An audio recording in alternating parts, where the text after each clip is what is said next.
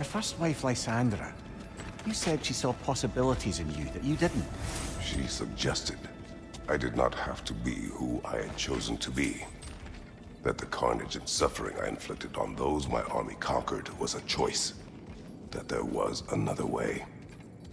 I refused to see it then, thinking it was my duty to annihilate all that stood in the way of the Spartan Empire.